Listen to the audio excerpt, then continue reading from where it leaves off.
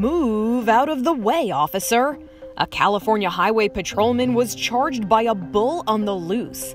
The animal broke free from its fenced in home and started wandering onto the roadways. When it saw the law had been called to wrangle it back home, it decided to resist arrest and charge.